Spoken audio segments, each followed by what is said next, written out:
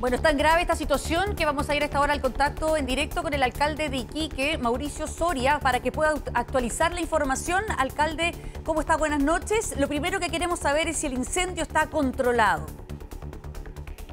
Buenas noches, sí, el incendio ya está controlado. Yo me encuentro acá en el primer albergue que habilitamos, ya se topó, hemos registrado más de 200 personas y ahora estamos ya, se habilitó el segundo, fueron trasladadas las personas de ese segundo albergue que es otro colegio que tenemos cerca del sector de donde fue el incendio. Los dos colegios están cerca del sector del incendio. Eh, alcalde, nosotros en la nota hablábamos de 100 casas destruidas. Eh, ¿Esa es la cifra que usted maneja hasta ahora?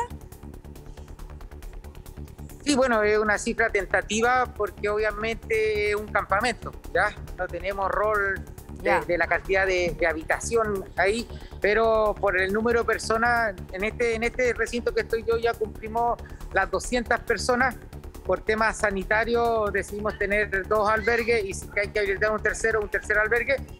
Eh, porque obviamente eh, también acá estamos con el problema del COVID bastante grande, estamos coordinados con el Servicio de Salud, se van a tomar muestras de antígeno también eh, bueno, y acá lo que ustedes ven atrás mío, el movimiento que hay es que muchas personas de Iquique están solidarizando y están llegando con, con mucha mercadería, agua y ropa, eh, que estamos trabajando con otras instituciones como Carita en este minuto, que también está haciendo y se hacer cargo de la entrega de esta ayuda finalmente. Alcalde, usted dice que hay 200 personas en el primer albergue. ¿Cuántos calculas que son en total los damnificados de esta tragedia?